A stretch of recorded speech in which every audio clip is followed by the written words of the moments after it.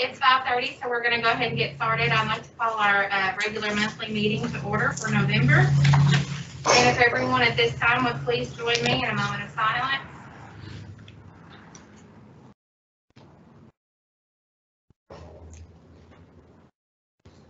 Thank you.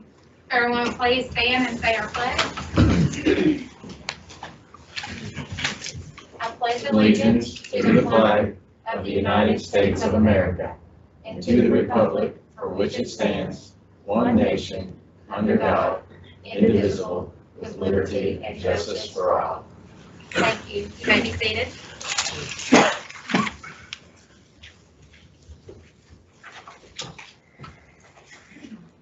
Board members, um, we're moving on to approving the agenda. And, um, we do have an amendment to our agenda tonight. And I'm gonna make a motion to amend the agenda by adding item J to consider job posting of school-based mental health care provider. I have a second by Mr. Jobar. All in favor of amending the agenda by adding item J, please say aye. Aye. All opposed? None. Are there any other additions to our agenda tonight? If not, I will need a motion to approve the amended agenda. I'll make a motion to approve. A motion by Ms. Wells and a second by Mr. Bowers. All in favor of approving the amended agenda item, please say aye. Aye. All opposed? I hear none. All right, we'll move down now to recognitions. Ms. Embry. Good evening, board members and guests. Let me share my screen.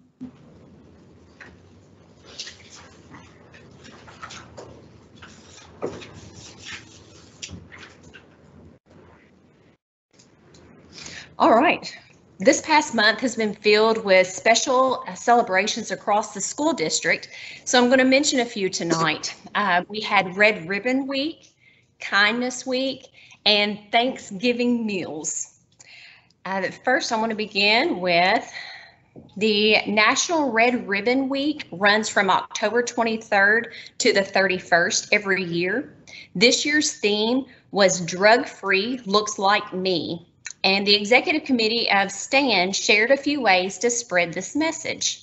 Members visited each elementary school to greet students and share a message during the morning announcements, and they were so excited to do that. It was fun to see these little ones looking up to um, our high school students as well. And on Wednesday, the uh, 28th, we designated that across the district as Red Day. So we saw lots of red that day. Then on November the 8th through the 12th, we had Kindness Across the Commonwealth, which led up to World Kindness Day on the 13th. And again, our stand members designated Wednesday the 10th as the high school's day to spread kindness like confetti.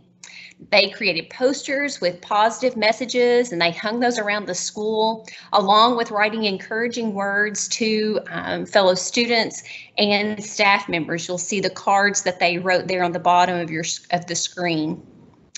Um, a variety of kindness activities was shared also with all of the schools. There were bulletin boards um, across the school district with uh, positive messages um, throughout each of our buildings. I want to thank the stand members for choosing to be kind. And then this week has been quite an exhausting week. I'll give y'all a moment to enjoy that little turkey there on your screen. Spotted that today and couldn't help take a picture of it. Thank you, Mr. Browning, for the entertainment.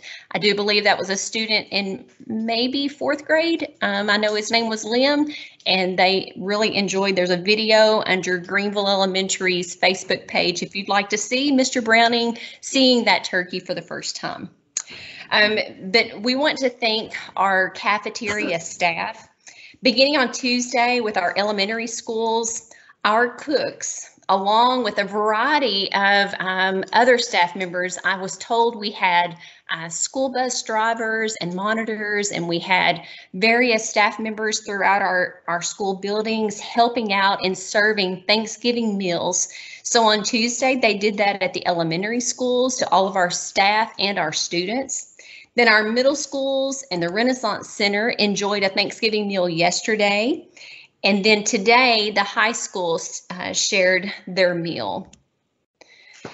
And these ladies here um, all together served over 4,000 Thanksgiving meals. We want to say thank you to the cooks. Um, this is it. Be, it continues to be a challenge. Um, Joe Cooper will tell you that it gets interesting at times to find all the supplies that they need. They're having to go and uh, find other sources, grocery stores locally to get all they need to serve those meals each day. But you would never know it by the staff. Um, they do an amazing job. And I just want to say thank you from the Board of Education for pro- providing such a wonderful meal for us um, this week. And you see Joe and her uh, right hand helper, Rachel Nelson, there in the picture. Um, so just thank you all, and we hope that you have a happy Thanksgiving. That is it. Thank you, Carla. You too. Right. Now we'll move down to our treasurer's report. Mr. Lutzinger. come up. All right. Thank you, Chairman Rager, board members. Uh, Tonight I bring you the financials as of October 31st, 2021. Start with revenues. Excuse me. I apologize. Can I just say, the reason we're all coughing is, uh, Mr. Matt Perkins put some soup in the microwave and it was very spicy soup and it boiled over and cooked itself silly and he's out in the hallway now enjoying the fresh air while we're in here coughing. The fan is working. I believe we are making progress. I did apologize. It was an accident. That's all I can say. Good plan. That's all I can say. I would, I I would like to state the fan is working as a matter of opinion. It. So our begin, Sorry. our beginning balance is uh, twenty-six point six eight, uh, eight, twenty-six point six, I can't even think now. Twenty-six point six eight eight million, uh, which is up, up by one point three million from uh, last month. However, monthly receipts are down uh, three point one million from last month and up two hundred and sixteen thousand from the same period last year, for a total of two point nine nine million. Uh, Really, the, every um, category is down. Uh, I'd also like to mention, you know, taxes. We expect to, you know, that, that'll be higher next month with uh, all the tax bills that went out.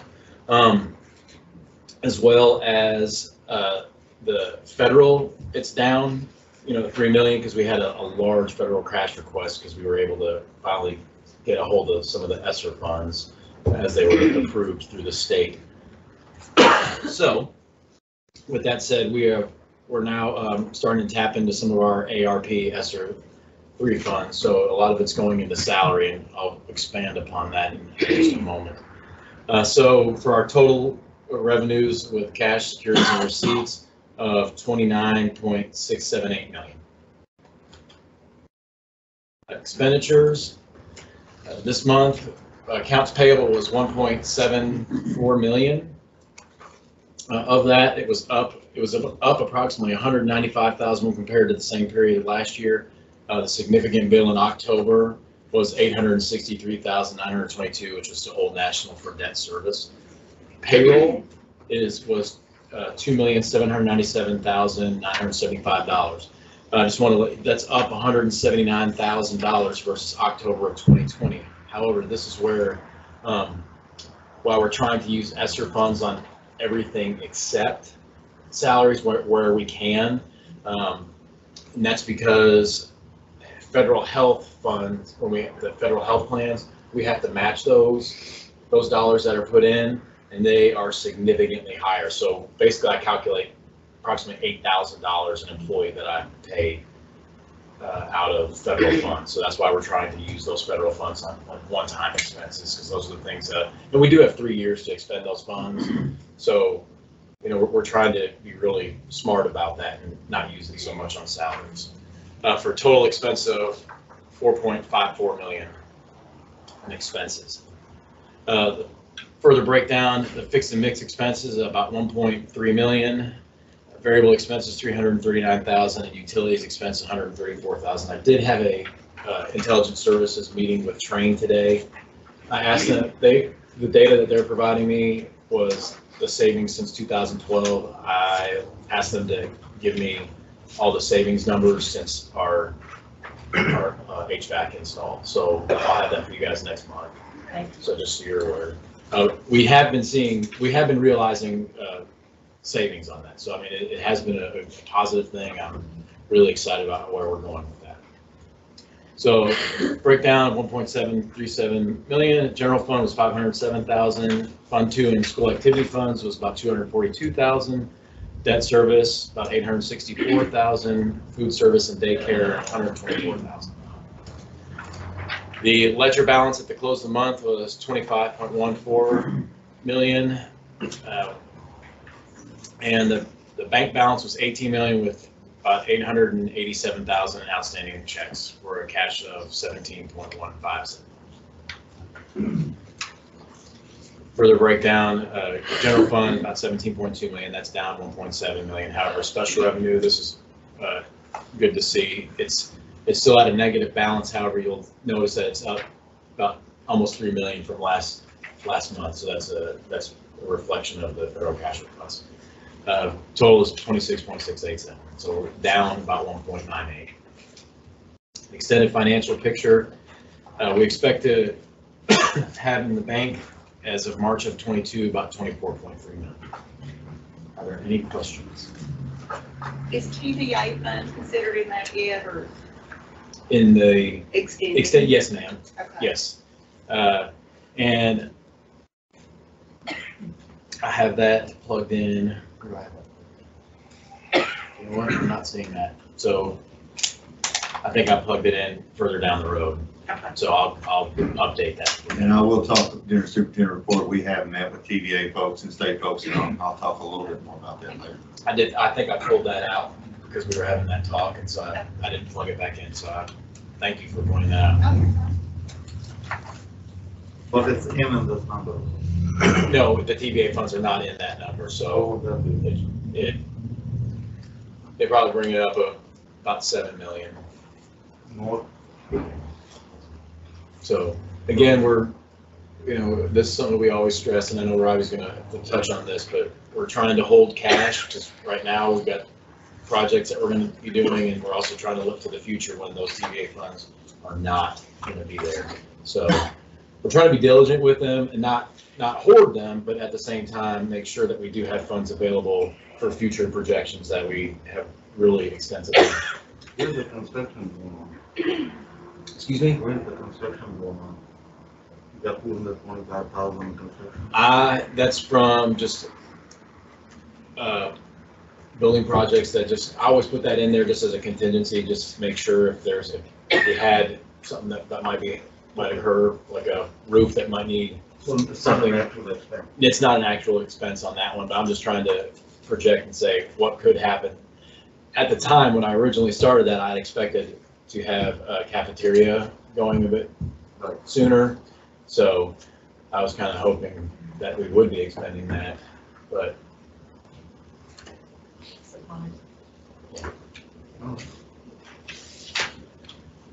Any questions? early, it's not as big a surprise. yeah. And I'd, I'd, ra- I'd rather have those expenses lined out than not, and if that's not hit with, hit with a surprise there. Any further discussion? If not, I need a motion to approve the treasurer's report. I'll make a motion. I Have a motion by Ms. Wells. Second. And a second by Mr. Bowers. All in favor of approving the treasurer's report, please say aye. Aye. All opposed? I hear none. Move down now to payment of bills and salaries. Again, Joe, right here? Uh, the November 2021 board bills, uh, I bring $306,531.25. Uh, Of that, general fund accounts for 256,000, fund two, 47,000, and food service and daycare about, about $2,700. Utilities is 102,000, fixed and mixed expense about 70, 75, or excuse me, 70,500.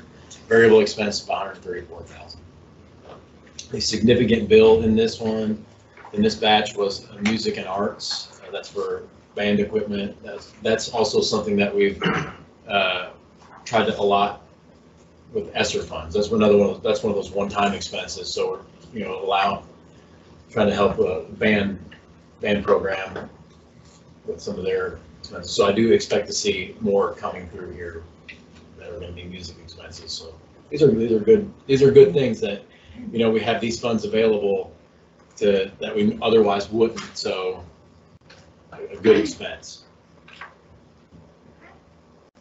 Any questions? So I need a motion to approve payment of bills and salaries. Motion by Ms. Barr. Second by Mr. Gilmore. All in favor of paying bills and salaries, please say aye. All opposed? I hear none. Thank you. Thank you. We'll move it down now to, um, public participation. One.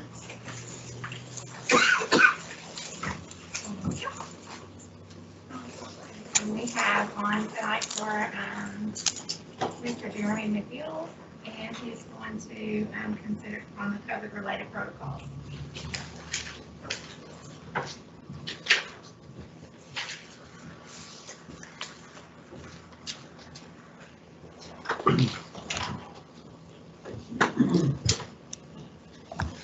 This is easier when I can watch it online. I don't have to get smoked out. Sorry, Perkins. it's initiation. Yeah.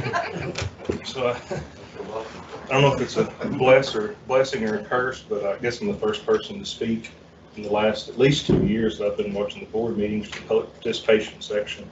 Uh, And I'm gonna try to keep it five minutes. Mr. Davis asked five minutes and with uh, smoke still in here, I'm not sure if I can talk fast. So I did make notes so I can do this and go over quick. Um, So good evening, Chairman Rager and Board, Mr. Davis. My name is Jeremy McGill, and I'm reside in the third educational district. And my wife and I are the parents of a kindergartner and a senior who's a legal adult, and both are enrolled in the Muhlenberg County School System. Comments that I make tonight are my own, and are to be considered my own, not those of my wife, who's an employee of this district. Don't think that's going to be an issue. Um, Seems that many would resort to social media and the keyboard to express concerns to to elected board members. And I'm not convinced that that's always uh, the way to yield positive results.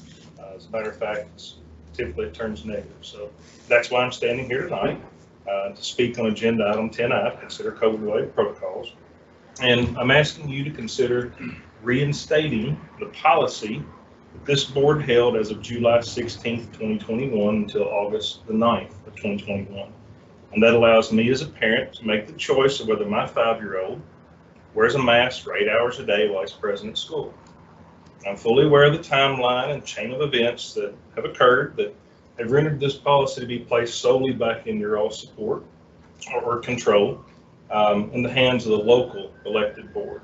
And the Kentucky General Assembly, they didn't move this policy through the House, Senate, circuit courts, and ultimately the Kentucky Supreme Court because they were bored. Uh, They did that because of hundreds of thousands of concerned parents across the Commonwealth, like myself, that asked for this to happen. So, and specifically based on local control, as you know now. In my opinion, as your constituent, local control begins in the living room, not this boardroom, when it pertains to the health decisions regarding my five-year-old. And I guarantee you, no one in this room loves or cares more for my child than I do. So I don't intend to stand here and debate the scientific lack of effectiveness of masks on children, um, none of that. I do have a postgraduate experience in reading and analyzing statistics and data sets. And the elephant in the room would be the vast number of studies that have come out from across the globe over the last 20 months, and even some states close to home, uh, such as Georgia, Tennessee, and Florida. And those examples and data that we've seen, they clearly point to the fact that my child is not a disgusting little disease vector for SARS-CoV-2 when I have the choice to allow him to wear a mask to school. And if you remember, at first we were told that the actions of these schools in a lot of these states were reckless. And just, just stand by and keep a close eye on them for the doom and gloom that will follow. And what we've seen is that was proven to be foul advice because anyone who's been keeping an eye on those states, like we were instructed to, to wait and see, can clearly determine that parent choice has had no negative effects on community infection rates. And to suggest otherwise is proven to be a baseless claim not supported by data, especially now that we've got 20 months worth of studies to look at these areas. So in this county, to what means is there an end? I know that uh, every, every board meeting since um, the September meeting, it's, it's been discussed about developing some type of metric, and I understand that and appreciate that. So to what means is there an end? And at this point, the decision 100% truly does rely on with the five of you um, that represent the people. And as parents here in this county, we were promised that this would be revisited once the sole discretion was finally placed in your all's hands by the Supreme Court and later in special session by the General Assembly. But we've been promised that this will be revisited. And it's also noteworthy that districts across the state, they've asked for inputs from parents and stakeholders um, regarding local policy, wide-based public input, formal survey. And we've seen that in counties close to home, like McCracken, McLean, uh, Butler, even further away, Pulaski, Lewis, Lincoln, and Lee. And it's, it is somewhat disappointing that this body is yet to ask for local input from stakeholders in, in a public-like format.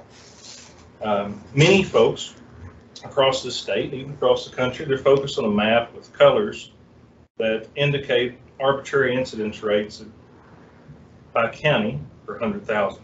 I know you all discussed this in meetings in the past, and I hope you have, and I'm, I'm sure you stopped to think and maybe question why that a seven-day daily average of seven positive tests, asymptomatic or not, can render this county in the red. And why was red not 100 cases per 100,000? Or why was it not 10 cases per 100,000?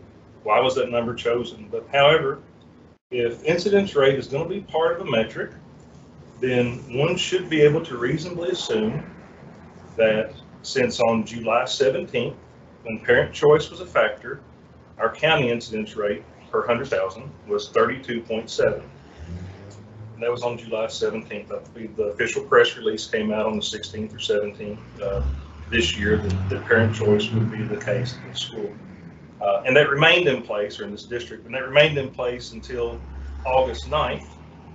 And the local rate was still at 58.3 cases per 100,000. Now, that was the day before the, the now irrelevant KDE mandate uh, was put into place, but local control was still a factor in this county on August 9th, 58.3 cases per 100,000.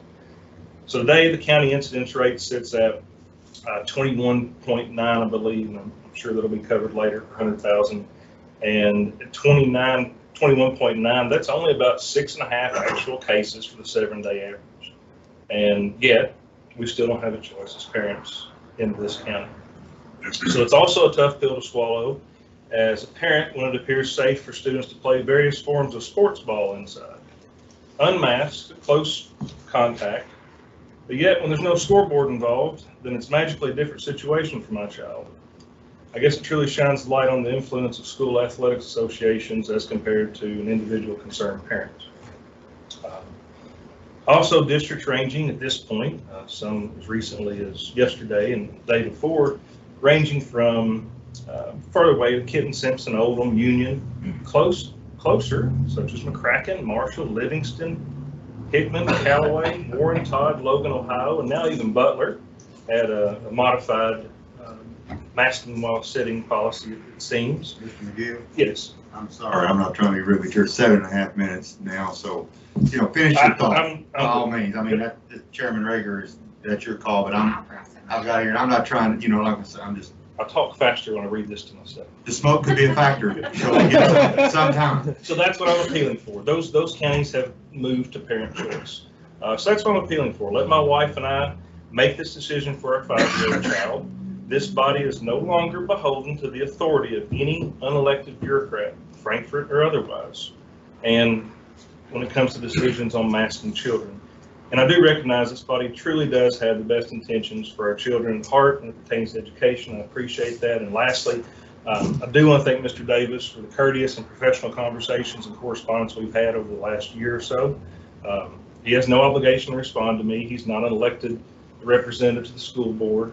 Uh, But yet, he has never, ever hesitated to return calls or hear my concerns. So, uh, thank you for your time. I realize there's no statute that permits that you have to allow public comment at the open meetings, and uh, thank you for doing that. Thank you for your Thank you.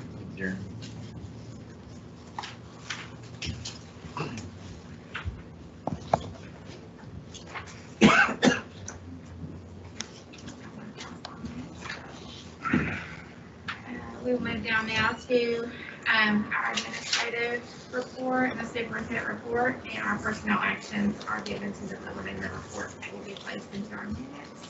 We'll move down to Mr. Davis, superintendent report. Thank you, Chairman Rager, uh, board members. We'll go over a few things here, to give you our numbers for the day. Mr. McGill kind of alluded to some of those, and I'll, I'll add to that just a little bit. Uh, We're not going to have principals reports tonight. I- I'm, I'm cutting out the most positive part of our, our meeting, but I need to quit doing that. But we've been kind of going long, so they will be back in December if we have a three-hour meeting. I'll, I'll promise you that. We continue to move forward uh, with our strategic plan and I'm, I'm kind of excited where that's going to go. We're going to get a lot of folks to give their input, not just on COVID, just really not on COVID at all. It's just where, where, what are we doing well? And what do we need to work on and where do we need to be in five years? So there's going to be multiple groups of folks, from parents to community officials, to kids, uh, to staff members, you know, just several groups that are going to have a lot of input and then we'll put it all together and, and hopefully by May, we have a finished product, but as of now, we've had two meetings with principals and supervisors, and then we're, we're kind of gonna be working out from that. But I'm excited about this. We may hear some things we don't want to hear, um, but that's how we get better. So we're putting ourselves out there and we'll see where that goes. As you know, we had another accident out in front of the high school. I think it was last week or the week before last, I don't remember. And we have, in the past, uh, preceding me, I know that they, they try to look at maybe getting a traffic light there. It's just a bad spot for, for our kids and buses coming in and out. And, you know, the, the state folks, whoever that may be, they looked at it and said, you know, that it didn't warrant that. Well, we're in a different place now because we've got twice as many kids going in there, twice as many buses. So I reached out to some folks and Will Ward, our sheriff, was the, the biggest help. He had a contact. He knows a guy or a gal. And, and he called and talked to them and, you know, their concern was, well, you know, you don't want to put a light there all the time because, you know, most, when school's not in session, you know, that, you don't really want a red light there, and I understand that. Seems like they could put timers on that and that shouldn't be a problem. He said it was, uh, but regardless, they, they realize there's an issue. They're looking at data again, and hopefully we're gonna have a meeting soon maybe I can get one of you folks to sit in with us to try to, you know, we don't want to wait till, till a student dies there before we get something done. So we're, we're pushing on that. Uh, Sheriff Ward has been a big help we'll go from there. Just kind of letting you know that that's, that's in the works.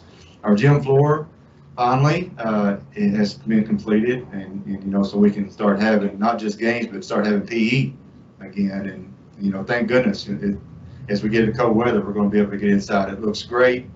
Uh, very pleased with it. Tommy Middleton did a great job there.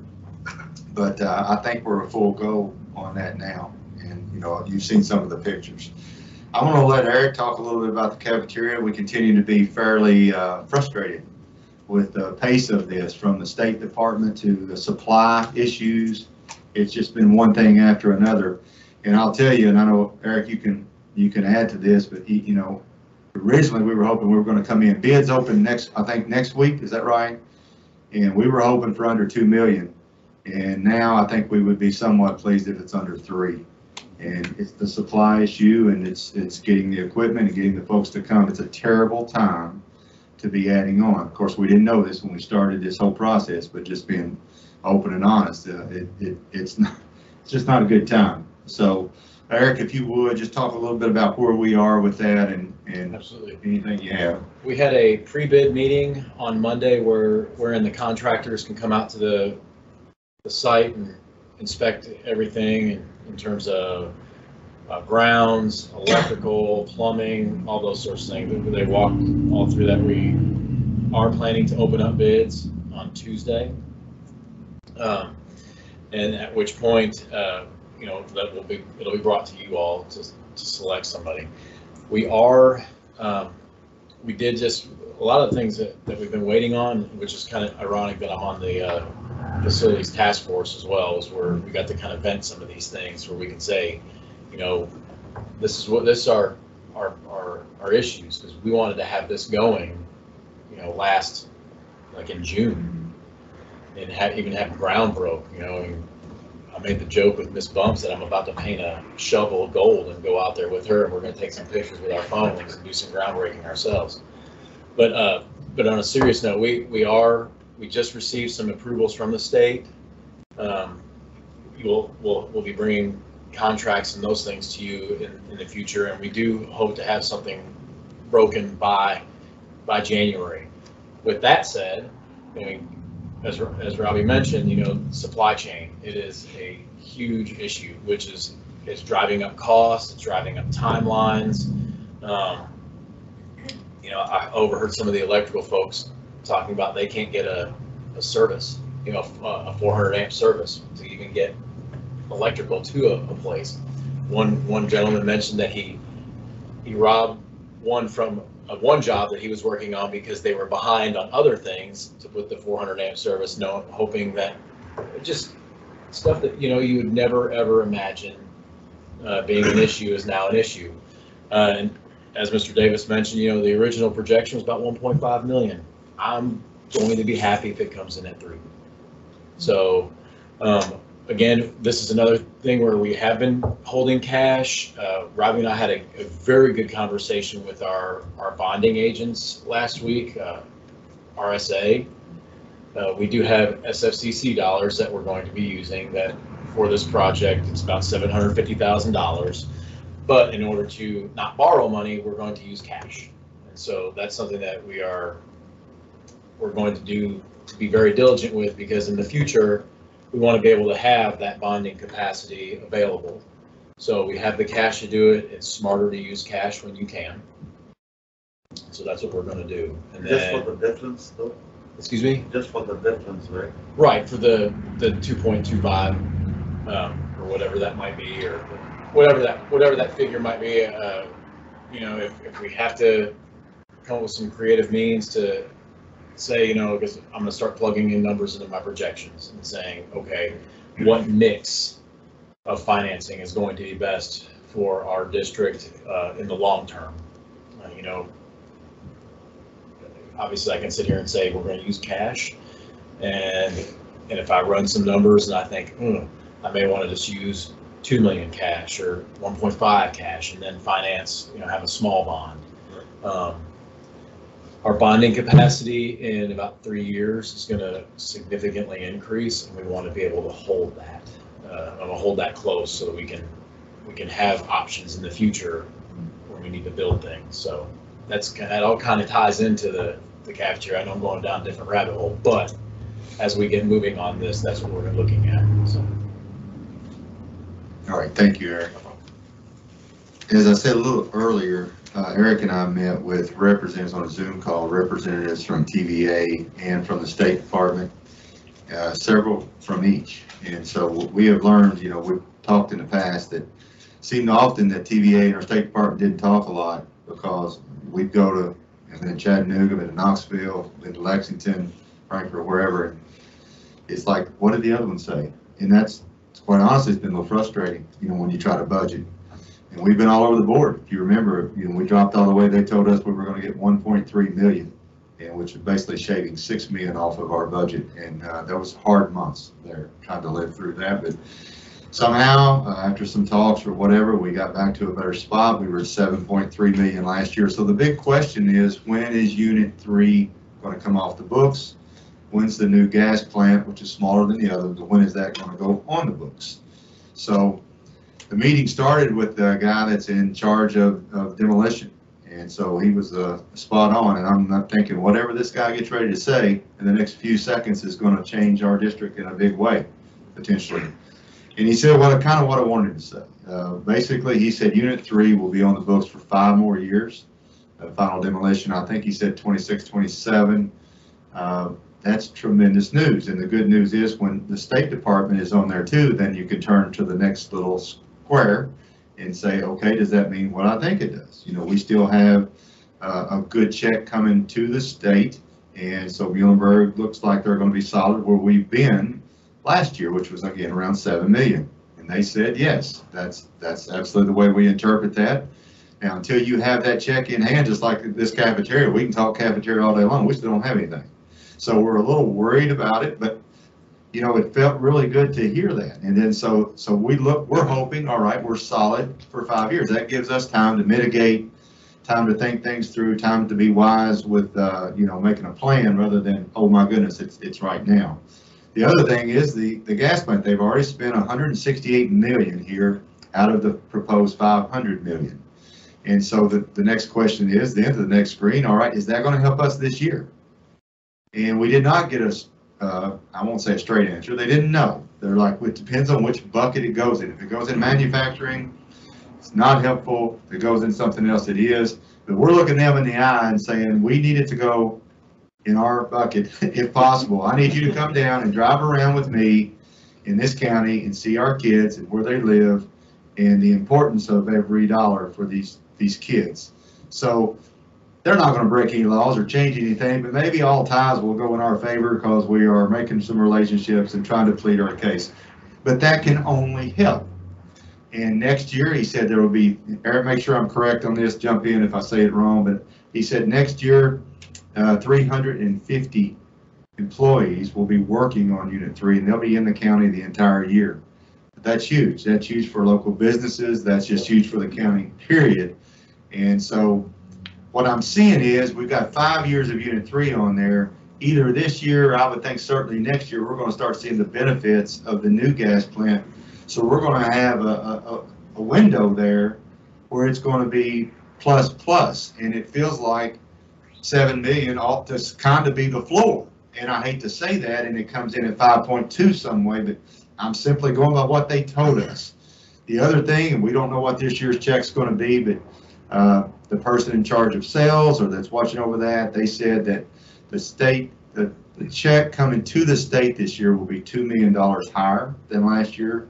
They haven't really released that yet. That was kind of ballparking it because sales across the nine-state region were higher the last year than it was the previous year. We're not gonna get all two million of that. We get a chunk of a chunk of a chunk. But nevertheless, those are three things, at least for right now, that I see I see positive. Now, I'd rather, I'd rather unit three there for ten years. But when you thought, we thought it was gonna be off this year, I mean, you're talking about a thirty million dollar difference in the county, in our school district, and this also benefits the county. So felt pretty good about that. I felt really good after that meeting, actually, and you know, I thank Eric for helping arrange that meeting and, and get those people on board. And uh, they were very helpful and, and answer questions, and I feel like we can reach out to them anytime, you know. So hopefully, uh, they absolutely know what they're talking about, and uh, all that comes to fruition. So I did want to mention that. You know, you're kind of cautiously optimistic, I guess is the best way to say that, but certainly sounds better than it did a year or so ago. I want to talk about Terrace Metrics just a little bit. I'm going to turn this over to Julie Penley in just a second. I've been talking about this for a bit. Obviously, more than ever, we have uh, kids with mental health needs. I mean, COVID has just been really rough on in so many respects. And, you know, even before COVID, we had so many needs. We have more now. And Terrace Metrics is a way for us to help identify those kids so we can, you know, they're not falling through the cracks. That's the worry. It's the kids that you don't hear from, you not, you just don't know. And so all of our kids will be taking, you know, the survey. I'm getting into Julie's realm and she's better at this than me. So I'm just gonna stop and turn it over to Julie. And Julie, if you would, talk, talk a little bit about this in general and then where we are with it now.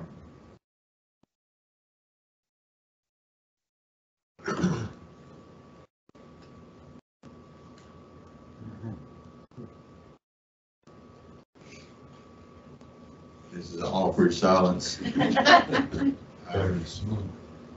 She's in a smoke-filled room. It's better than smoke. You want me to call? I hate not to have this, but um, maybe she'll pop on here in just a little bit. I know she was going to talk about this.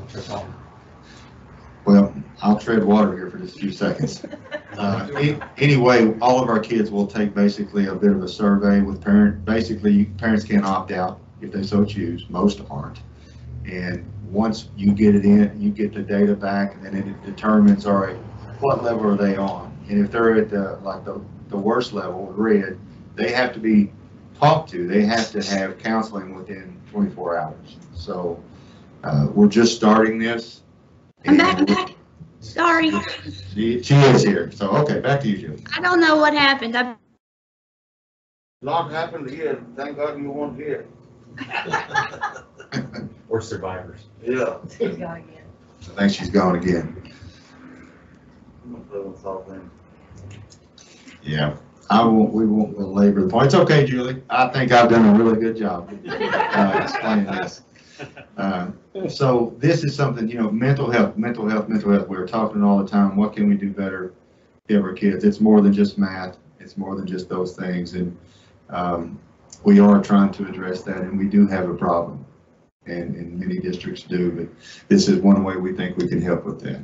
Uh, before I get into our numbers, I must say that today is the Sherry Miller's birthday. So we gotta recognize that now that is on, on, uh, on, it's recorded. Our numbers as of now, uh, as of today, the latest I can ha- get is, uh, students, we have eight positive students in thirty quarantine. That's up just a tick. I think we were maybe four and twenty-nine, a couple, three days ago. Staff members, we have three positives and one quarantine. Now, obviously we want zero and zero, but this is, uh, this is pretty encouraging considering where we were at one point. Our staff num- numbers have held pretty solid through the whole thing, but we were as high as eighty-eight students and five hundred quarantined. So put those numbers in perspective, we are definitely trending in the right direction, which is, you know, one of the reasons we're gonna start having, you know, more conversations about when do we do something different? But these are positive, these are, I wanna say positive, these are encouraging. Our positivity rate in the state, something I look at each day as well, it's at six point two four percent. And remember, that's uh, out of all the cases, I mean, all the tests, six point two four percent of them are turning up positive.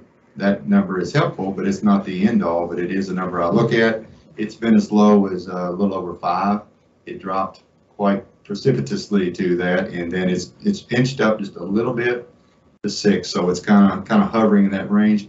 Our incidence rate, as Mr. McGill said, is twenty-one point nine today. Today is two full weeks in the orange. Today is the last day of that. We did get as low as about thirteen. We've been eighteen or nineteen and, and twenty-one point nine. And it is true that it doesn't take many cases to try to hold that low, to kind of bump you out of it. So, but we are twenty-one point nine.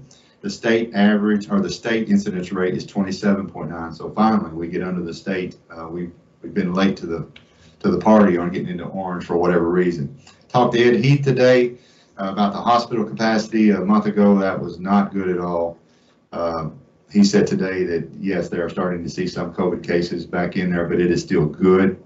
Uh, There's still have plenty of space, and I'm sure uh, Chairman Rager, you can speak to what's going on in Yeah, Davis Our County. are way down, we've got several lots, I mean, lots and lots of it, something that we didn't have a month or two ago. So trend, trending in the right direction is, is certainly encouraging. So that's, that's basically, uh, that's all I'm gonna go over now. Obviously, we have a a agenda item later to talk a little bit more about masking. I'll go into a lot of other factors and at that point, but and that'll conclude my superintendent report, uh, unless you guys have some questions at this point.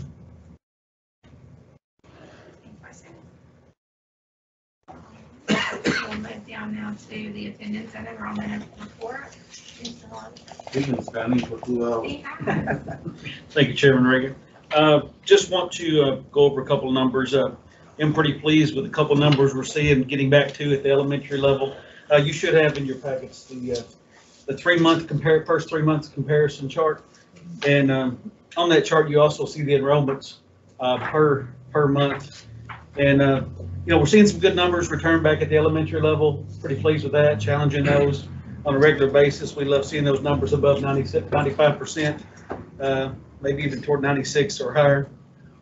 Uh, Still working on the middle school, high school numbers to return.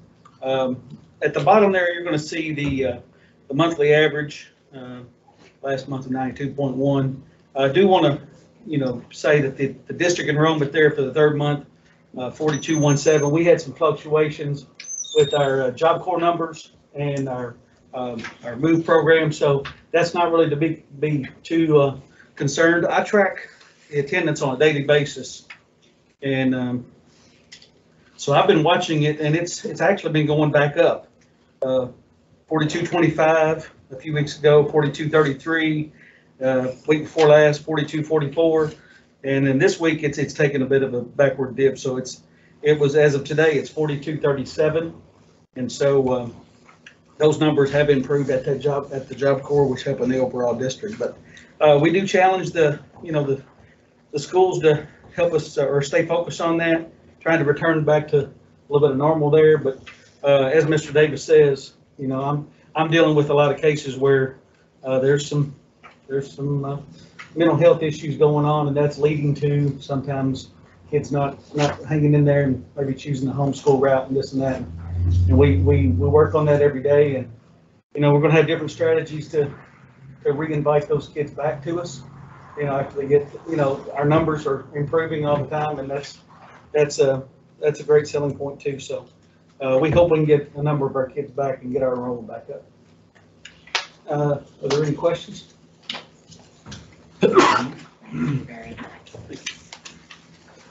Making improvements, then, get- bring them all back to school. All right, now we'll move down to our board action items. And item A is to consider changing the second interventionist position from classified to certified. Ms. Browning? Uh, Good afternoon or good evening, everyone. Um, Basically, this is a position, when we allocated certain ESSER positions to each school, the schools determined what type of position they needed, and some determined that they needed uh, classified positions, some determined that they needed certified. At the high school, they decided at that time that they thought they could better be served by having a classified employee and a certified employee since things, um, since they've gotten in school, they are asking now for us to be able to change the second interventionist position, that is an ESSER funded position, from classified to certified so that we would have two certified people, um, in place for the remainder of the year. Thank you. Are there any questions? I need a motion to approve. I have a motion by Ms. Wells, second by Mr. Bowers. All in favor of considering changing the second intervention position from classified to certified, please say aye. All opposed? I hear none. We'll move down now to item B, to consider contract for speech language therapy services. Maybe third time's a charm. Nobody move. I don't know what happened a while ago, um, but I am here tonight to present to you a contract for speech language therapy services. We already had and have a contract in place with McPherson uh, Speech Consulting, but due to some circumstances, we are not able to utilize her as much as we would like. So we've had to go um, searching for additional people that we can work with, and we have found someone who's a previous employee of Muhlenberg County Schools, and her name is J.C. Dunn.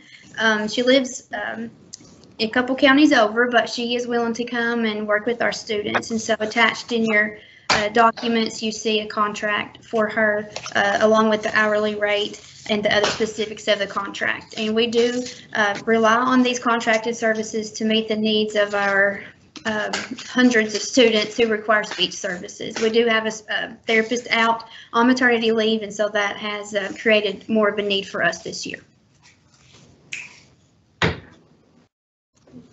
I hope you all heard that. Yes, we did. I have a motion by Mr. Johar Second. and a second by Ms. Barr. All in favor of considering the contract for speech language therapy services, please say aye. Aye. All opposed? I hear none. Thank you, Julie. And we'll move down now to item C, to approve the first reading of the 22-23 school calendar. Mr. Barton. Thank you, Chairman Rager. Um, Bringing to you tonight, um, consideration of the 22-23 school calendar.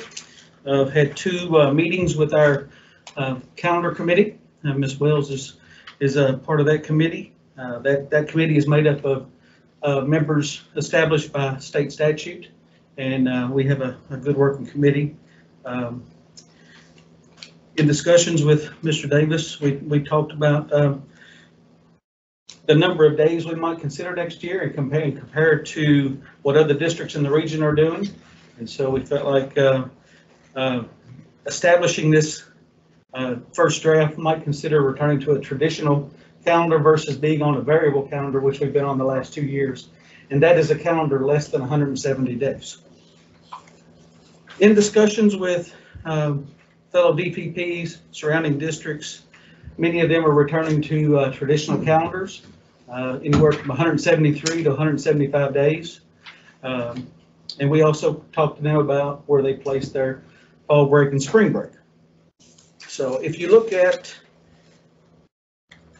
in your, your packets there, you probably have a calendar that's, says DP, DPP number one option. And uh, it's got some color coded blocks there. Um, That is coming out of the committee, our recommendation to the, to the board.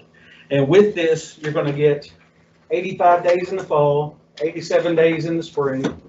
I felt like it was important to balance out the semesters with us being on the block schedule at the high school. Uh, It did go a little bit long in, in December there. Uh, One option had us getting off that 16th, and, uh, but this option gets us off on the 20th. In a way, feel like the 19th and 20th is a, is a way to wrap up some activities, uh, get a little more instruction, but also provide data assessment time at the end of the semester, so. But one thing interesting about balancing out the days, I do like the fact that we can put a couple days that uh, the kids and staff are off in February and March.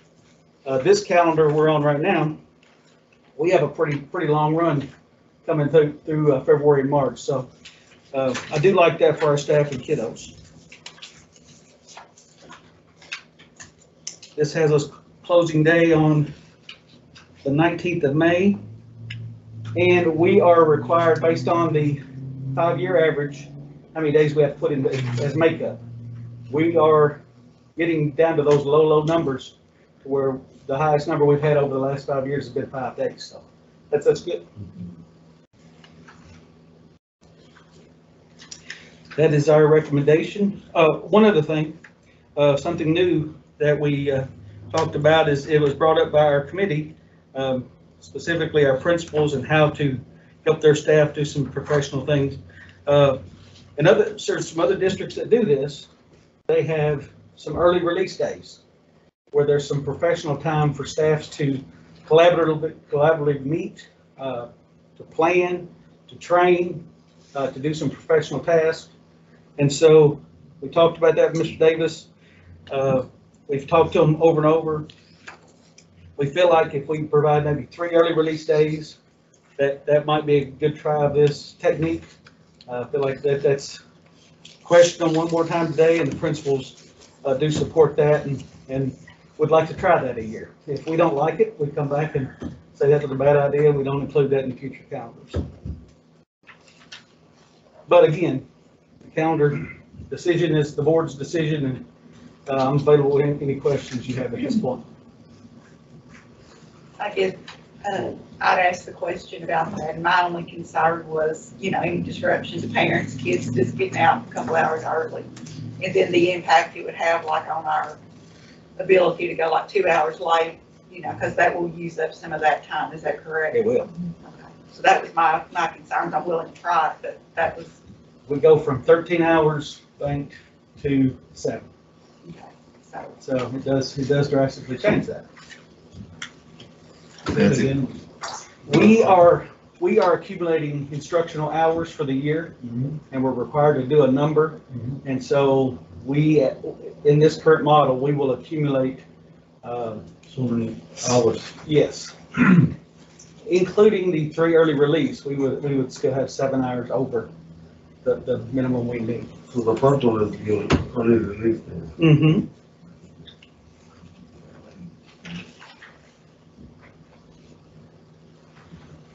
Yeah, and, and it- those are valid questions. Uh, we kind of kicked that around. I'm not on that committee, but obviously Mr. Hardison's talked to me quite a bit. I, I think it's, the way to put that is, you know, this is something to try. And you don't want to ever inconvenience, inconvenience the parents if you can help it. We are giving them nine months lead time so they can plan for that. And I, I, I do see as a principal and as a staff member, it would be nice to have strategically placed times where you can look at data. You, you can do vertical planning. You can do some things while, you know, you know, in two or three times. Some districts do it, I think, weekly and uh, some several times a year. I wouldn't want to jump in that deep. Uh, Once we try this, we may come back and the parents say, you know, hey, we absolutely hate this. Or the staff may say, these aren't as useful as we thought they'd be. And so I would think after this year, it may be one of those things that, you know, you continually tinker, try to make it better. This could be really good, and it could be something that we find out is not as useful as we would like, but I, I do think it's worth trying on a, on a small basis, you know, three days seems reasonable. We place them around the grading periods when there's a, you know, extra professional time required to finalize assessments and plan for those things.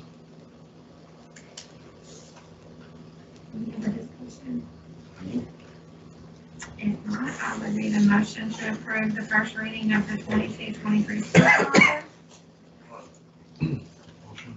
Motion by Mr. Gilmore. and Second by Mr. Bowers. All in favor of approving the first reading of the school calendar for next year, please say aye. All opposed? I hear none. Thank you, Mr. Carson. Thank you. Thank you for your work on this committee Thank you. Willie, well prepared. There's a lot going on tonight, I'm sure, and I'm not part of that, I don't know you are, but. Okay. A lot of opinions, a lot of planning on that, I know. And I'm not a teacher either, so I know, you know all about that as well. It was always a hot topic. Probably glad I'm not on that committee, anyway. Um, Yeah. All right, so we'll move down now to item D, to consider the SFCC fiscal year twenty-one, um, KETS offer of assistance. All right, this is our first KETS offer of assistance. We get these every year. Just remember, it's, it's for technology purchases. We match those funds. Uh, the first offer was thirty-seven thousand, six hundred twenty-seven dollars. Uh, they matched equally, or they can be escrowed for three years, and I know Chad's department uses this very well. I'll make a motion to approve. Second by Ms. Ward. All in ma, in favor of considering the, um, KETS offer of assistance, please say aye. Aye. All opposed? I hear none. All right, we'll move down now to item E, consider revised BG one for the Renaissance Center roof. Mr. Litzinger? Interesting. You'd think we'd, uh, we wrapped this up last, you know, a couple months ago, but KDE has said no. Um, basically what it is, is the temporary roof that we put on there, I ran it through general fund. That's what I thought we were, should do. Um, KDE did not like that, so, uh, and the rooftop units that I thought were general fund expenses, which they really were. I mean, we did spend them out of general fund. They wanted us to run that through. So when you, the BG five, which is the one that reconciles all the expenses, they said they wanted it that way.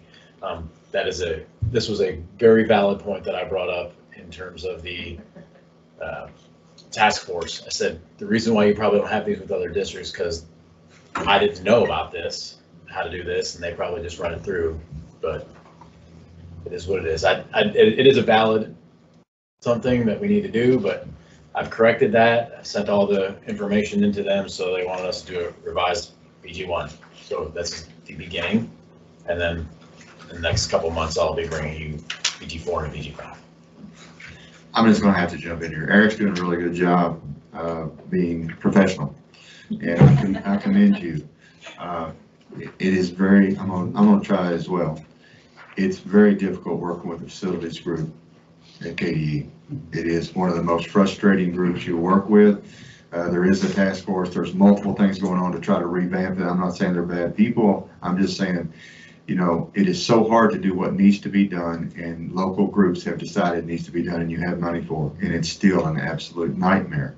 It- It's, it's ridiculous. Here I go. I'm gonna, I'm gonna shut her down. But it is, it is very frustrating and, uh, you did well. You handled that well, Eric. I mean, these are, they're just things going on that, uh, just, it's harder than it has to be. Instead of just help us get to a yes, help us figure it out. It's no, no, no, no, no. And, uh, you know, it's costing us a lot of time on the cafeteria and, you know, as well as some other things. So just, just know that and we'll work through it. It's, uh, hopefully we're gonna get to a better place there. That, that whole, uh, process is being really looked at even from the commissioner on down. It's being addressed, but it's, you know, Eric and uh, Melody both work with that group quite a bit and it's, it's just very frustrating. I learned in the army, sometimes you gotta play the game. There you go. It's the game. Alright. Any other questions? I need a motion to approve. A motion by Mr. Jobar, Second. second by Ms. Wells. All in favor of considering the revised BG one for the Renaissance Center roof, please say aye. Aye. All opposed? All right, we'll move down now to item F, to consider purchase of Munis employee self-service. Thank you, thank you again. This one I'm, I'm actually, I'm really excited about because I think this is a huge benefit to our employees. Um, I've held off on this for numerous years just because of the expense, and now that we have some of these ESSER funds, it's not, it's not a huge expense, but I'm tight and twenty-eight thousand was not something I wanted to spend, so now it's something I. Um, the great thing about it is the, our current processes only allow when somebody gets their, their pay stub, uh, I've worked with Jarrett on trying to, you know, find some of these old emails. If you don't get your pay stub through the email, it's gone. It is in the ether and we cannot retrieve it. So the only way that I can give someone a record of that pay is to print out uh, a Munis report that nine times out of 10, the bank calls me and says, all right, walk me through this. So this will allow people to get their pay stubs. Um, W-2s, if someone wants a W-2 right now, they have to call me, I reprint it, I either hand deliver it to them or I mailed it to them. This will allow them to go online, download their W-2 in a secure PDF. It allows them to do that. Um, if they want to change banks, you know, a lot, I mean, it- it's, it's eliminating a lot of manual process where they want to change banks, I tell them to print out that form and then they have to physically bring in a check and that form to me. And that's just to prevent fraud because you may not know who's sending you that, that bank, you know, you take that bank account and you're paying someone else and it, and then that, that person calls me and says, where's my money? So I'm really excited about this. It's a really good product. They log into a, a portal, get all this information. Um, there's some one-time cost, but then the, the annual cost thereafter about four thousand a year. So I think it's a, a good thing. I think it's a convenience for our staff and I'm really glad to bring this. to you. And most people, that, you know, you know, an employer of this large number of people, you know, we, they have that availability Yeah. to them. I mean, I know, just people applying for loans, things like that, you know, you gotta approve. Address change. And, and really, I mean, the, the, the biggest thing that made it glaring for me was a couple weeks ago, someone needed a, a W two, well, they upgraded the system. So then I couldn't print, and so I've had to call Munis, and Munis is not, Munis must, they must work with KDE's construction. Because it took me two days to print a W two. I mean, it, it shouldn't take that long to print a W two. Um, so I, I think it's a benefit, I'll, and I'll shut up. I'll make a motion to approve. Second. Second by Ms. Wells. All in favor of considering the purchase of the Munis employee self-service, please say aye. Aye. All opposed? I hear none. All right, we'll move down now to G, consider the vaccine incentive payment of hundred and ten dollars. I only got two more. Uh, this is the vaccine incentive payment. The state of Kentucky announced it was going to be providing about $8 million to the state in order to provide a reimbursement of $100 for a vaccine incentive for state employees. Uh, the state allowed the flexibility of districts to adjust the payment to each employee, employee uniformly. Um, the Muhlenberg County Board of Education, we recommend that this payment be $110. That way they clear $100. Uh, So we'll just take the FICA and and Medicare. And it- believe it or not, the teachers will also have FICA and Medicare taken out because it is not a retirement um, based payment. So this way, everyone gets the same amount. So it's the 7.62 on everyone's paycheck. Motion. A motion by Mr. Jobar, second by Ms. Starr. All in favor of considering the vaccine incentive payment of hundred and ten dollars, please say aye. Aye. All opposed? I need to abstain from the next one before I start saying. We'll Move down now to item eight, uh, that's to consider purchase of three buses. Yes. Now you get it, huh? Now I get it. One of them is not free. Uh, we consider the purchase of two standard buses and one special needs bus. Um, The, I- as you all know, I budget two annually, uh, standard buses, so we're- we'd like to purchase two standard buses. The special education bus, be Medicaid funds, and the total cost is three hundred and thirty-nine thousand, three hundred and sixty. Although I will ask that you allow, um, I got a call from Kim, and on the special education bus, they would like to make it a, a little bit larger, which increases the, the, I believe it was five thousand dollars. So if you make a motion, if you allow me in your motion to increase the cost if, if needed to accommodate the larger bus. That's up to five thousand more. I, I, I believe it's, it's, it's somewhere in, in that five thousand range is what I was told, so. So you're at three hundred forty right now. Correct. So three hundred forty-five thousand would, should, should cover that. Um, I'll make a motion. Second. Second one, Mr. Jonar. All in favor of considering the purchase, purchase of three buses, I'm buying purses over here. so.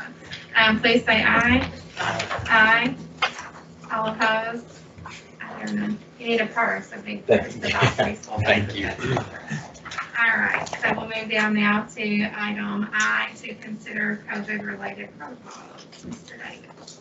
Thank you, Chairman Rager, board members. I'm gonna, I'm gonna take a bit to kind of go through basically how I've been thinking about this and, and some of the information I've been gathering. I'm not gonna make recommendations. I'm gonna talk about things I think we should consider. And I'm gonna look at it as, as three layers, is basically the way I'm gonna lay it out. So first, I wanna thank, and this is sincere, I wanna thank our parents, uh, our community, our staff, uh, This has been, uh, this has been a really tough run. And even though we've got folks all over the board, even in my family, you know, on this, they have been respectful. I mean, consistently, uh, and that was illustrated again tonight. You know, I'm out and about, I've talked to people, you know, all over the county, I'm in, I'm everywhere, and uh, no one has been in any way other than respectful. They've disagreed, you know, and all that's fair. And I can never ask that at the end of this, that they agree with everything I, I say or do, or agree with you guys. What I hope that folks will do is give us the benefit of the doubt that we are trying to do the right thing. Uh, We weigh these things, and this is not easy. Now, a couple months ago, even last month, we were at a point where it really, uh, it, it was a fairly easy call. You know, our numbers were so high, uh, most people would have, would have agreed you know, that we kind of had to do what we had to do. And if you get down to where you're zeros across the board, well, that's an easy call. But we are now in, in the range, which I knew when we got here, it would be a little tough, a little controversial, but it's a good thing that, because that means we're now, we're able to have some, some conversations about where do we go and what can we do. So I want to start with, uh, things to consider, things that, uh, I weigh in my mind every day as we, we try to decide what is the best thing to do. And certainly our numbers are absolutely critical to that. Look, I'm looking at that just, uh, pretty much every day. Uh, we're getting up, updates on where are our staff positives and quarantines, what's our rate on that map. That map, uh, is, is tricky to be the end all, I think. You know, it's, setting up a metric is really difficult for this. I kind of like the way we're doing it. I know some may not, but kind of talking about it each month and weighing multiple, multiple things and having a conversation. If you just go by the map, and some do, and that's okay. Uh, but, you know, that, that can jump back and forth pretty easily. And it, you know, there was a time where, you know, the jump was, but it was all because of a single nursing home or something. So I like to look at several different things. The state positivity rate, you say, why does that matter? That does matter to me. If the whole state is kind of dropping and getting down there, that's, that's a good indication, I think, that we're likely to to stay lower. And if it jumps, the state does, then that's a probably good likelihood we're going to follow. So I do watch that. What about other districts? You know, and some would say it doesn't matter about other districts. We're, we're Muhlenberg. Well, it does. It does to me, because when I talk to a superintendent, and we talk daily, I talk to 15 other superintendents on a text, and then many more uh, outside of that, but absolutely daily, we are throwing things out and we're comparing and we're talking. So why does it matter what other districts do?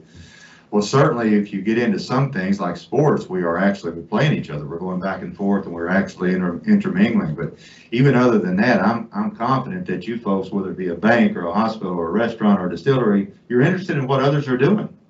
You know, now does that mean we have to follow the leader? We have never followed the leader, but I do weigh that. So when McLean does something, or Hancock does something, and Daviess does something, that interests me because when I talk to their superintendents they have talked to their health departments and their board members and their doctors and also I get all that resource, all that knowledge to help make a, a, a, smart decision. So other districts, what they're doing, you know, some of them have gone optional masking earlier. That interests me.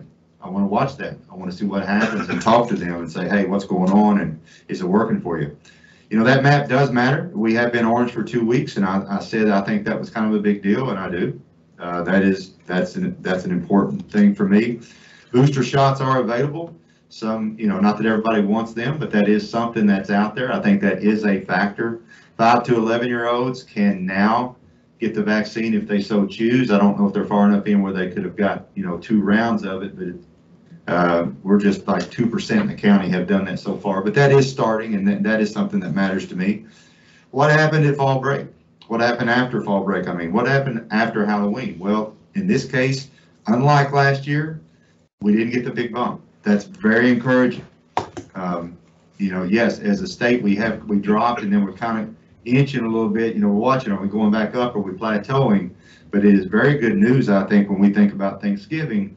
Hopefully, that's going to be a positive thing as well. Hopefully, Thanksgiving, we won't see a jump after that either, but it is encouraging that after fall break and Halloween, we did not. Um, I talked to a lot of folks that have uh, have a lot of expertise. I talk to Kathy Bethel often. I talk to Ed Heath often. I talk to Dr. Billy Gallion. She's been a big help. She's always there for me. Dr. Bandy, I can reach out to him. Like I said, other superintendents, and it's also, even though we haven't put out a survey or anything like that, I understand that that's a reasonable thing that he's saying. I get that. I do talk to a lot of staff members, a lot of parents, and I talk to kids. Um, I'm in schools every day. And so all that stuff kind of weighs in as you kind of try to decide, all right, where do we go from here? And we have test to stay now. That's going pretty well. Had some bumps early, but that is helpful. And occasionally we get some state guidance. Um, I did meet with, uh, not personally, but all the superintendents met with the commissioner and some folks from the State Department. Um, Tuesday of this week, and, and, you know, it's kind of listening to them some. So, having said all that, you know, as I'm kind of trying to work this through in our mind, does it have to be an all or nothing? You know, if ultimately it is obviously it is you guys' decision, and if you're like, I'm not ready to do everything at once, uh, can we consider a layered approach? So, I want to talk about three layers in my mind that you know you could either either think about all three of them, or or one or two or three of them.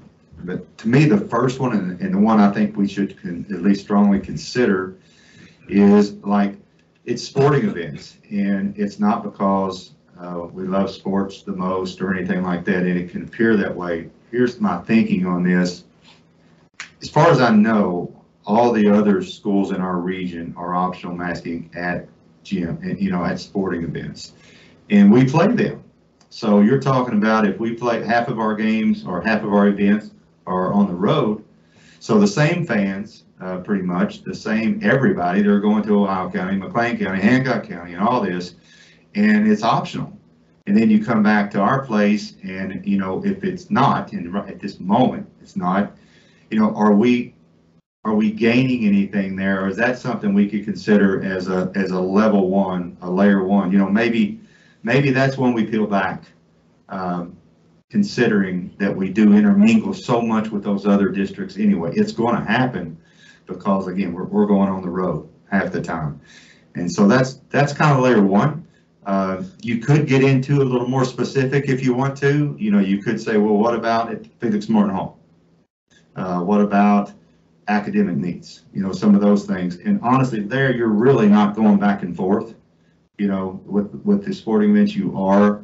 But you, you know, you could lump them all together, but I'm just kind of throwing it all out. You could, you could consider that, but I think the, the most obvious ones that folks have come to me about and, and what I hear the most is it, does it, I don't want to say it doesn't make sense. I mean, anytime you're trying to be safe, it makes sense.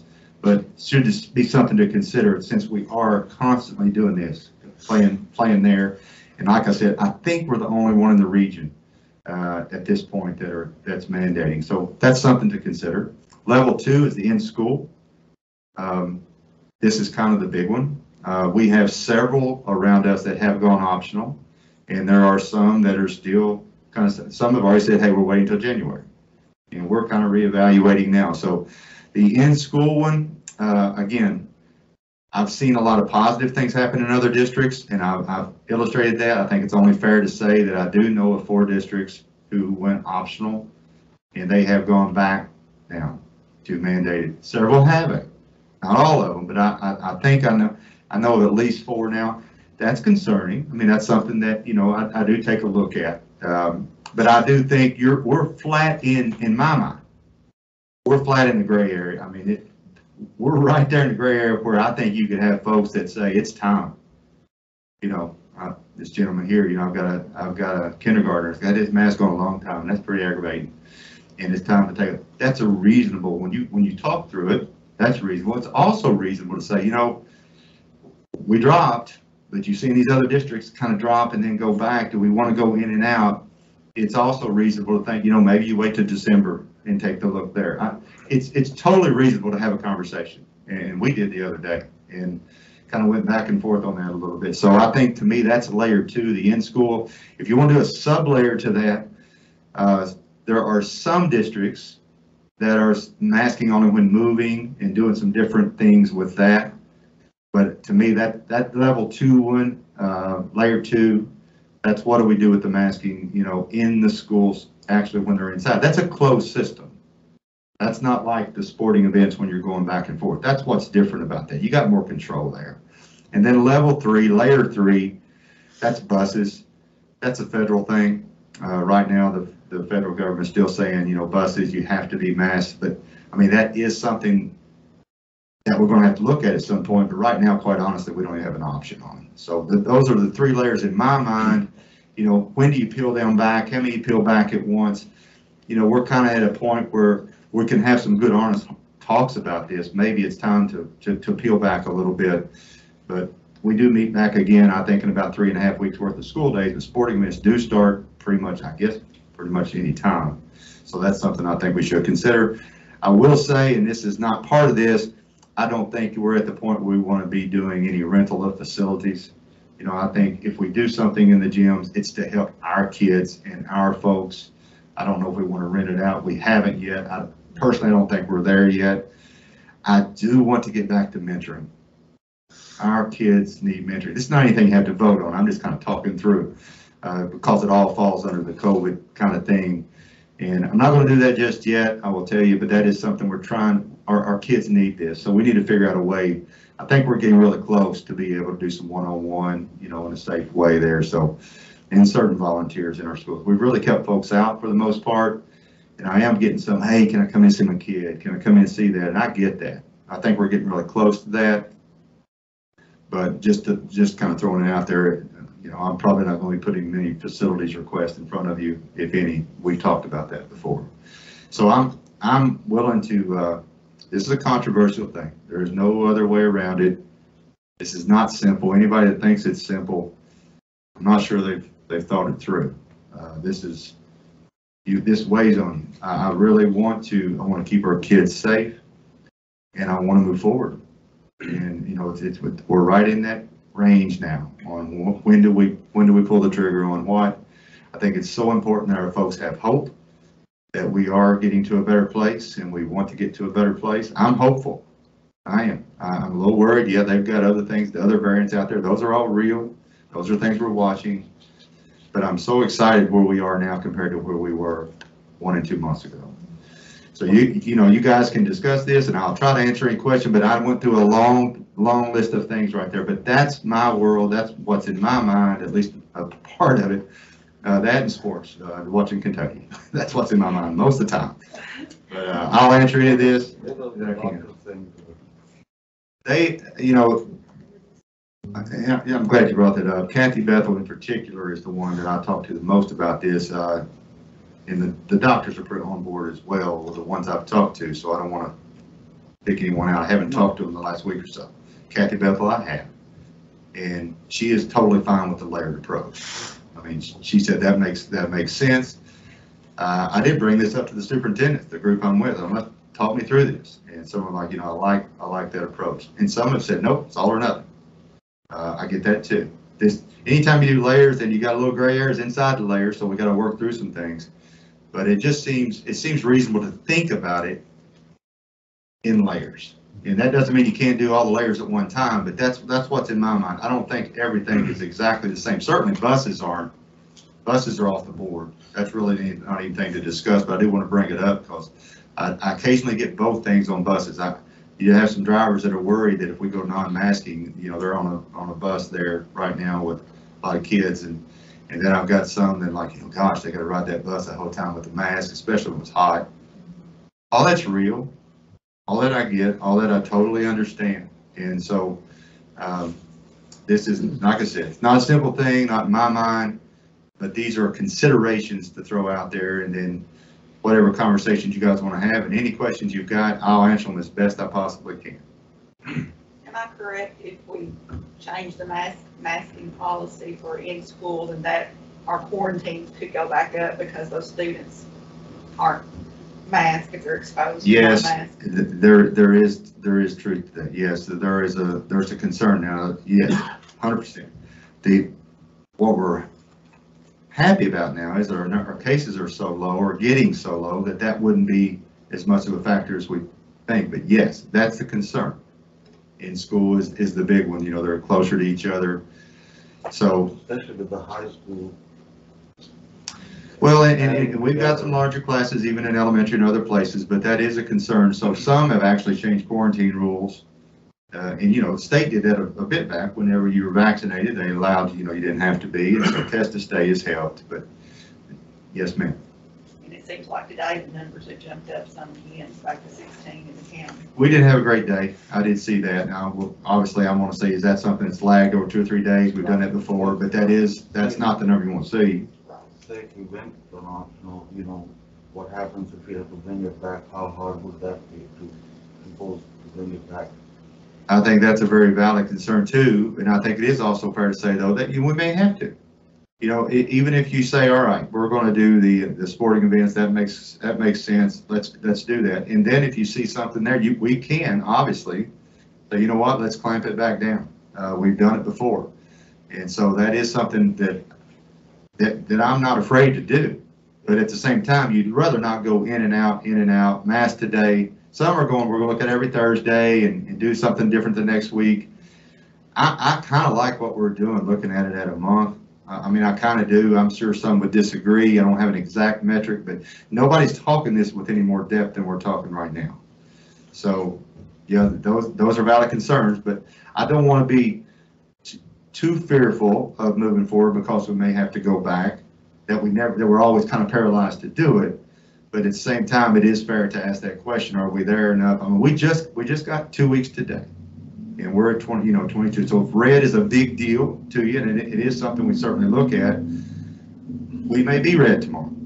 I mean, so, you know, I don't know. Uh, And some districts have gone at optional and been just fine. So, you know, it's, just to be fair, I'm, I'm looking at both, but I'm trying to just give you all the data that I have and everything that I'm hearing. You know, I get that, you know, I got two kids going to school as well, and nobody's happy wearing masks, including myself. But when you sit with two board members who have lost their brothers, and talk, trying, talking to them, and it's like a job, you know, and you're just working through our actions, and not have talked, just because, you know, let them feel like, let them say how they feel and what they think. And I think it's fair, I should, I should say, it's fair to say that, yes, absolutely, they come from, you, you two come from very tough experiences, but I've talked to both of you individually, and you've listened. I mean, you've listened and you've weighed, so that's all I can ever ask, is that I just kind of lay it out there, and it's not like, no, I don't even want to talk about this. You have absolutely listened and asked questions. Uh, You know, My major pretty- concern is that we have two major holidays coming up. And people's gonna interact, and it's gonna be school kids interacting too. So I think we need to wait till at least after the first of the year, and if, you know, we're in good shape, take them off. you know, but If we're not, no, it's a whole lot easier to keep them on than it is to put them back on. Yeah, I understand that, and to be totally balanced, you know, most other events now in the county, including churches and everywhere else, it is optional. And I mean, just, just being fair to that, and the good news is, we have dropped into the orange with that going on. Uh, but we are kind of the biggest business, and we have the most, most folks together, that's, that's reasonable to say too. You know, we do have the biggest business, we have the most people together, we have the most people going back home and exposing family members. And speaking personally, um, as a board member who's lost a brother to COVID-19, um, no family should have to go through that. No family should have to watch a family member die when you can't be there.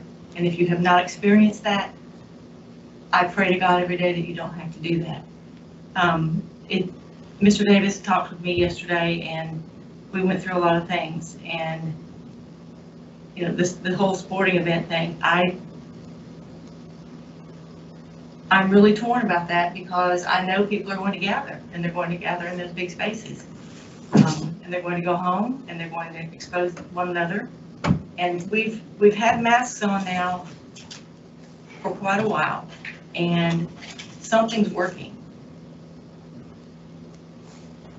The vaccine may or may not work for you depending on how careful, how careful you are out in the public. Case in point, um, one of my brothers is fully vaccinated, went to a football game with other people who weren't vaccinated, didn't wear a mask, didn't really care about his surroundings, and now he and my other brother have COVID-19, so that's three of my brothers who have had it recently. Um, So it's a tough decision for me, and if you have not been on a school board and sat and looked at parents and people in your, in your community, and some of them saying things that, you know, you can't tell me what to do with my child, um, we're here to protect the majority of people in this community. Um, We might not all agree on things, and I, Mr. McGill, I, I commend you for coming here tonight. Thank you. I know how passionate you are about, about this subject, and I understand. Thank you. Thank you for being a part of this. I've lost two friends this past week. Both of them were vaccinated. And I agree, you don't wanna, nobody should have to go through, through that. And if we have tools to protect the majority, why not use them? Uh, What's it gonna, I mean, what's another month till after Christmas gonna, gonna, it's not, it's just a few weeks. And get through the holiday season and, and then reevaluate after we get back to see where we're at.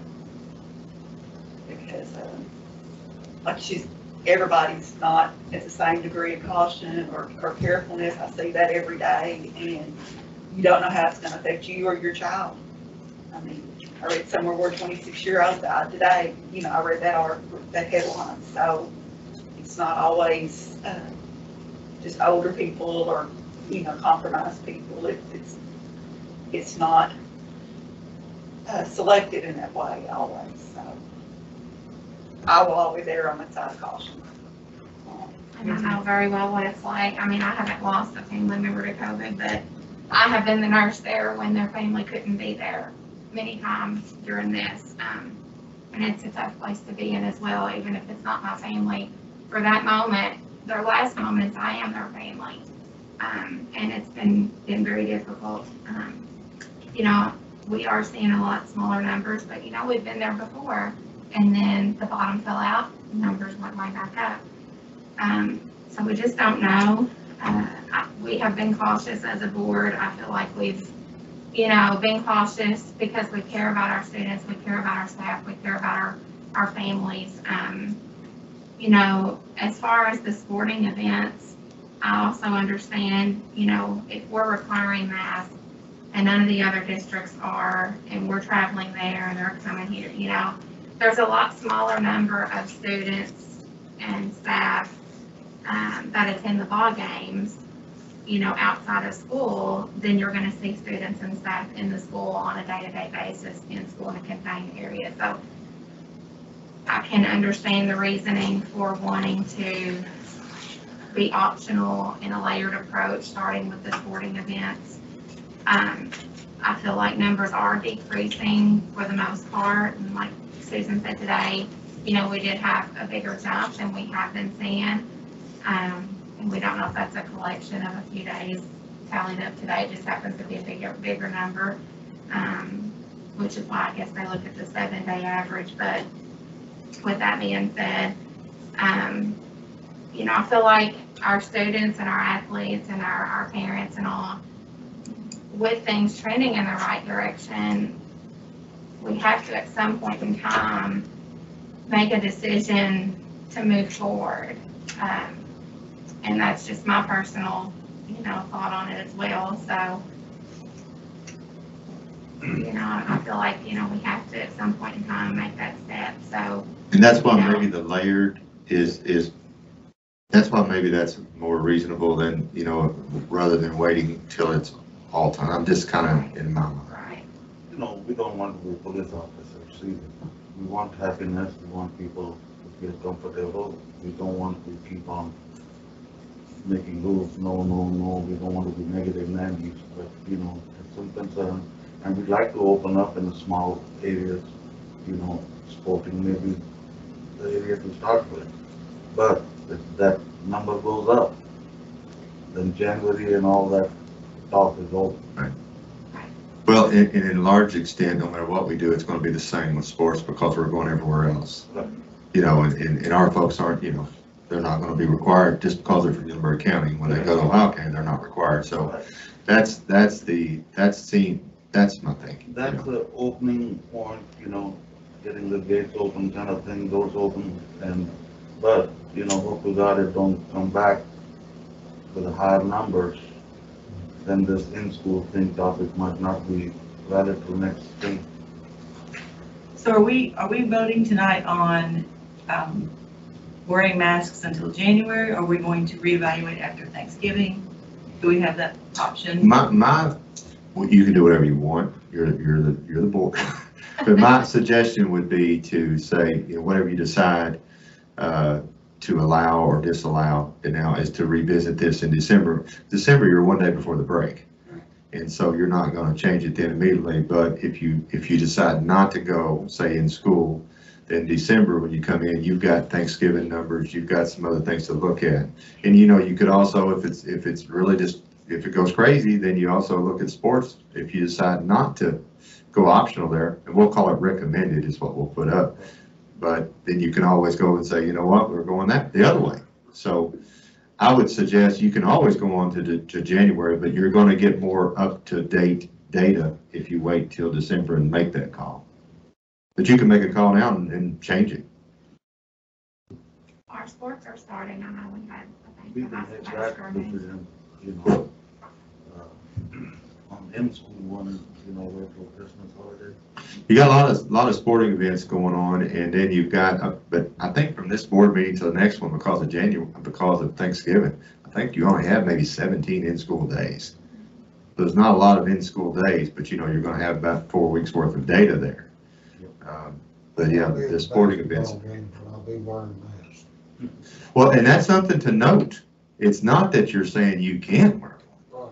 Right. Um, you know, there, there is a place to have choice and, and, uh, you know, I understand it. I understand where Mr. McGill's coming from. There's no hatefulness there. There's just a, a reasonable opinion. I don't blame him, I've got a, I've got a, a grand, great grandson in the first grade and a great granddaughter in the seventh grade, so, you know, but my whole thing is to protect them, you know.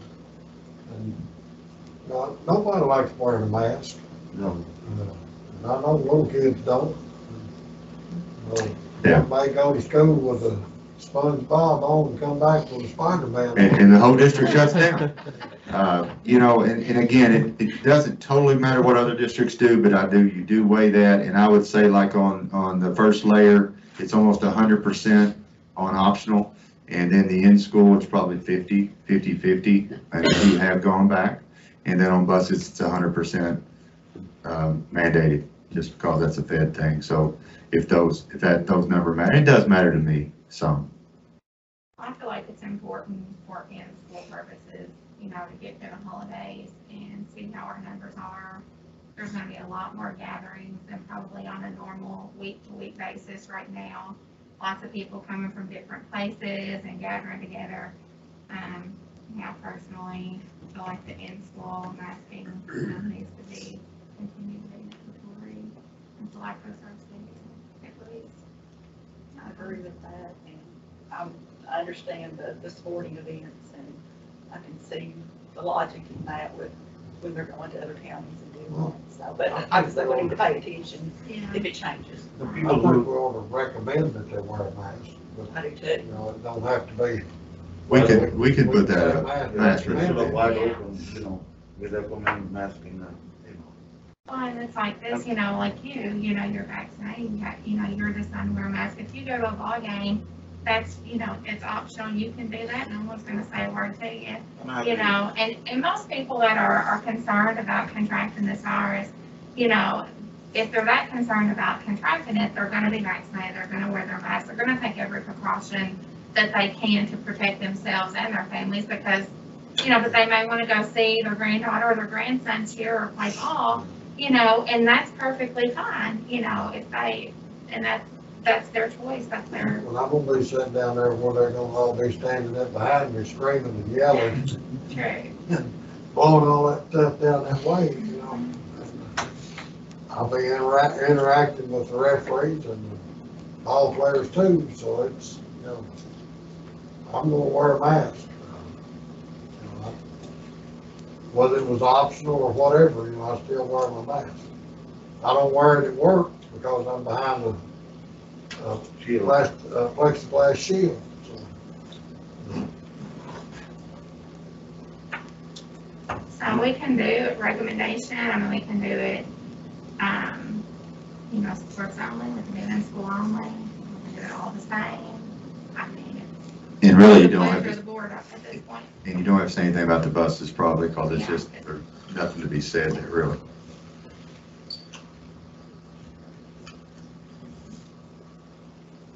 I'll make a motion to make the sports optional masking at this point.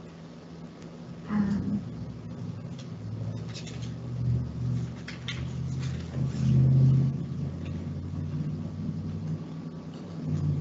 One second, that, just to support somewhere we start this.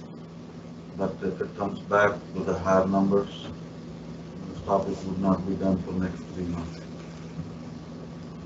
Please note it down. So Chairman Rager, are you gonna make the motion? Is it gonna be, is it gonna be just, Or- just that, or I'm you just gonna roll them both in right one? now. Yeah, I'm Gotcha. just doing sports. Um, that way there's no confusion as to what the vote is about. Um, so yeah, I've made a motion to recommend optional masking for sports events. Mr. Johar has seconded that.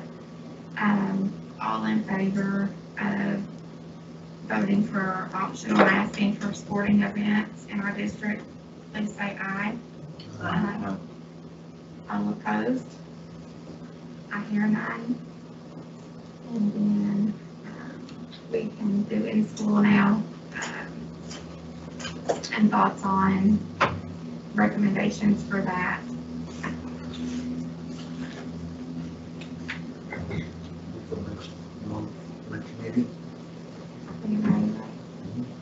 Yeah, I'm-. I'm okay with reevaluating the next one. See where we are, see how, how, how we go through Thanksgiving. And like, like Susan said, I know we talked about this a thousand times, but at this point, we're better safe than sorry. Um, I don't wanna make a decision to let people go optional masking in school and then have to pull it back and have more people exposed. Um, so I'm always going to err on the side of caution. I will. Alright, So I have a motion by Mr. Johar to revisit the in-school uh, masking for next month. I will second. And second by Ms. Wells. So all in favor of reevaluating for um, in-school optional masking for next month, please say aye. Aye. All opposed? Buses are off the table. Buses are off the That record. may be a while for bus. Aren't post offices federal? Good, master. Good man. Good shit. Good shit. That was only. Good hand, probably. Alright, so we'll move down now to our um, added item J, and that is to consider job posting of school-based mental health care provider. Good evening. Good evening. I'm gonna leave my screen off, so maybe my computer won't mess up. Um, but we received a phone call from KDE this week, and we were notified that we have an additional forty-three thousand ninety-five dollars to apply toward an additional school-based mental health care provider. And you may remember that we received the same amount of funds last year, and we used the funds to contract with two part-time guidance counselors. Um, we do not have those contracts in place anymore. We started off the school year without those in place. But we uh, would like to revisit that and recommend that we go through the process that we did last year to find someone um, who possesses one of the following credentials, either a school counselor, a school psychologist, or a school-based social worker. And I think now's a good time to revisit some of the statistics that I was going to share um, earlier when um, Mr. Davis was talking, and he did a very nice job at reviewing Terrace metrics. Uh, but through our trainings with Terrace metrics, we uh, were told to expect that for every 100 students, that about seven of those were going to need follow-up within 24 hours, meaning that they had a priority score of one. Um, so based on responses, they showed um, loneliness, um, issues with bullying, feelings of isolation, low resiliency factors, um, and not as high on the positive things like hope and grit and things like that. So what we're finding is that through our assessments, which began last week, that about seven out of 20 students in our district are priority one, meaning about seven out of 20 students are requiring immediate follow-up within those 24 hours. And that is putting um, a lot of work on the guidance counselors, and they're absolutely um, feeling that that void. Uh, they are providing those one-on-one conversations with students, and they're working very hard to meet the needs of those students and make referrals as necessary. So um, I thought this was a good time to bring those statistics up because any additional help that we have in the area of counseling for our students is a much needed time for a lot of different reasons. So I would hope that you would consider this and allow this position to remain in effect for the life of the grant as deemed necessary by district leadership.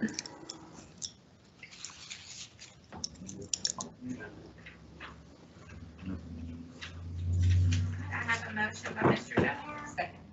Second by Ms. Barr. And all in favor of considering the job posting of the school-based mental health care provider, please say aye. Aye. All opposed? Can I ask one more question, more clarification on something? I know we've already done this, and it won't change. but- But Julie, um, did you say out of every one hundred students, seven will normally need help? Yes, uh, in our trainings with Rich Gilman, he's the creator of the program. He advised us to expect that out of every 100 students, that about seven would need immediate follow-up, meaning within 24 hours.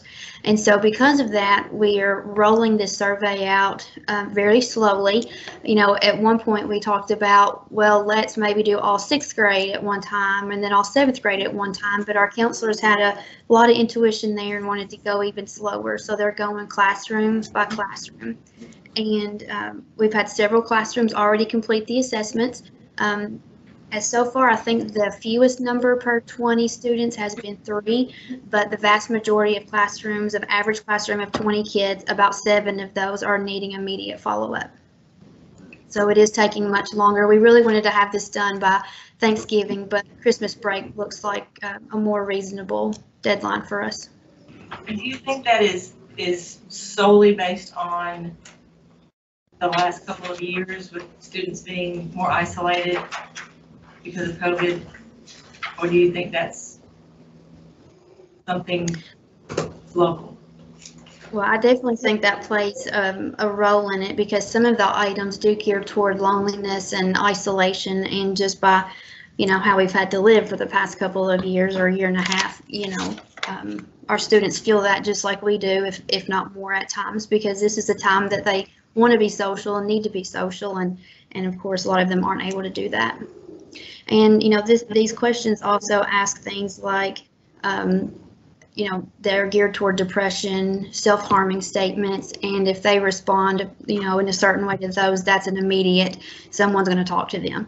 So it can be just more of an undercurrent, or it could be something more significant, like a um, thoughts of of dying.